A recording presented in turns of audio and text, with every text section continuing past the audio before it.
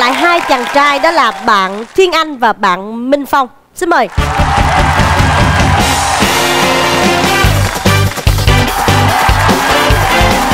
Trước khi chúng ta đến với vòng 3 có tên gọi là ngôi sao may mắn thì à, xin mời hai vị khách mời hãy lựa chọn cho mình một người đồng đội, người sẽ đồng hành với mình trong thử thách thứ ba. Nhưng chỉ một trong ba người họ đang giữ ngôi sao may mắn mà thôi. Nếu như các bạn chọn được ngôi sao may mắn thì đó đồng nghĩa với một phần quà rất thú vị của chương trình. À, em sẽ chọn bạn Minh Phong Tại vì thật ra em cảm thấy là Phong rất là năng động, rất là dễ thương Và em nghĩ là rất là hợp với em Chọn rồi đúng không? Dạ Thì mời em xuống đây đứng kế bên bạn ấy thôi. Mời Trang Ờ, em thấy tất cả mọi người đều rất là dễ thương mà ai cũng tài năng nữa. Nhưng mà có một bạn trùng tên với cháu em cho nên là em xin chọn bạn Thiên Anh. Ủa sao mà nãy giờ mình cứ tưởng Trang rất là hứng thú với lại ờ, bạn Gia Bắc mà sao kỳ nhỉ? Dạ đúng rồi, em đương nhiên em rất là thích nhất là phần biểu diễn vừa rồi của bạn Gia Bắc. Nhưng mà tại vì là trực giác mà giác quan thứ sáu thì bảo thôi bạn giống cháu mình quá Thì mình lựa chọn bạn Thiên Anh. Xin ờ, chúc mừng bạn uh, Gia Bắc Tại vì bạn đã được uh, Lâm Vĩ Dạ lựa chọn rồi.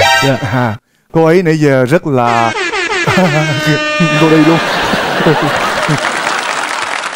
Chúng ta còn chần chừ gì nữa mà hãy đến với vòng 3 À nhưng khoan Hãy cùng nghỉ giải lao trong vòng ít phút nhé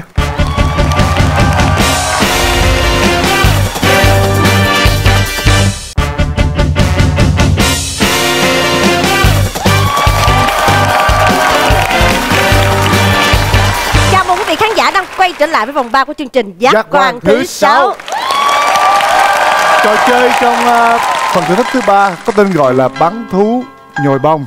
Mỗi đội sẽ có một rổ thú nhồi bông. Dạ. Nam nữ sẽ lần lượt thay phiên nhau bắn. Ở đằng kia có 3 lỗ. Lỗ nhỏ nhất sẽ nhiều điểm hơn. Trời ơi. Rớt bớt. Các bạn sau khi hoàn thành cái rổ ờ, của mình ha Chúng tôi sẽ cộng điểm lại. Cứ mỗi lần vô lỗ này thì 3 điểm Lỗ này 2 điểm Lỗ này thì được chỉ một điểm thôi. 1, 2, 3 1, 2, 3 1, 2, 3 Thôi để đây đấy Giác quan của họ có vẻ giống nhau. Thôi thôi cho, cho hai bạn nam lên quảnh đi. Một hai ba. Đó vô là có kết quả liền. Bây giờ đội thắng mình sẽ thi trước. Yeah. Rồi mời đội thắng. Và bây giờ phần thi của đội Tường Vi Bắt đầu. 2,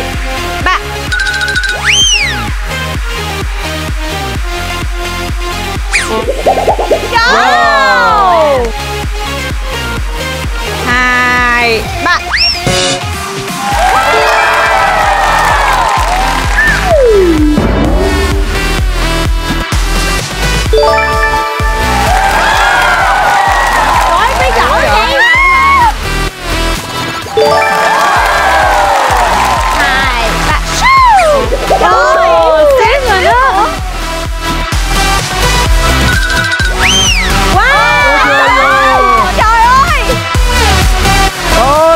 cố lên.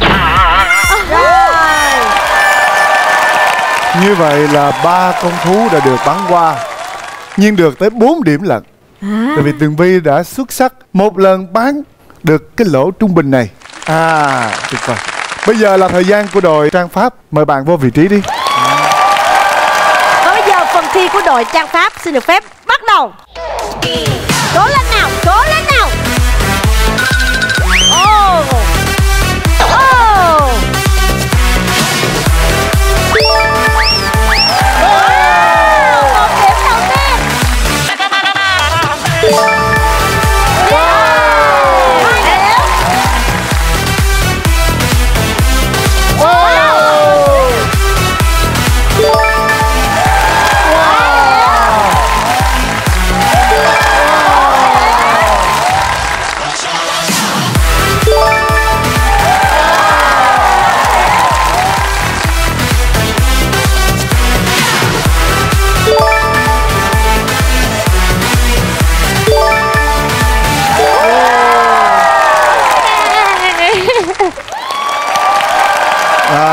như vậy là cũng bắn được à, 8 con qua cái lỗ lớn này đồng nghĩa với 8 điểm Chà. Và với phần thi vừa rồi, Trang Pháp đã đem về cho đội mình 10 điểm. Xin chúc mừng. Đồng nghĩa với việc là bạn đã đang sở hữu 30 điểm Ồ, và là đội chiến thắng ngày hôm nay Nhưng chúng ta vẫn còn một à, cơ hội tìm lấy may mắn cho mình Đó là tìm xem ai sẽ là người sở hữu ngôi sao may mắn. Bây giờ thì xin mời hai chàng trai của chúng ta hãy để tay vào chỗ cần để. Và sau 3 tiếng đếm của anh Trương Thế Vinh thì hãy lấy ra cái gì cần lấy. Xin mời Trương Thế Vinh. 3 2 1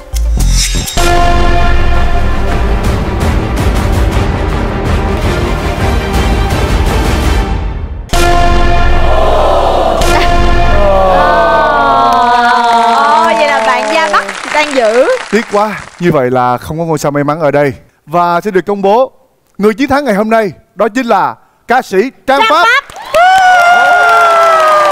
Bạn đã đem về cho mình phần thưởng là 10 triệu đồng. Trường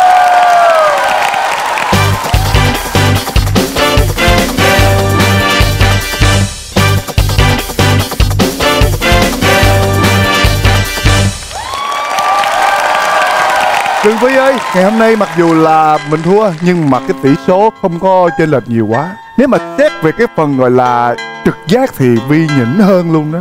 Không biết là em đang nghĩ như thế nào?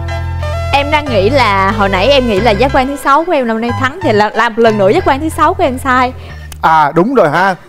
Lúc đầu vô là Vi Ừ, nói là Vi dạ sẽ đúng thắng đúng rồi. không? Ừ. Còn Trang Pháp ngày hôm nay mình là người chiến thắng rồi. Bây giờ hãy cho biết tâm trạng của người chiến thắng như thế nào cảm giác rất là như kiểu là da diết. Ra diết? Da diết mê mê hoặc. hoặc và đầy nội lực.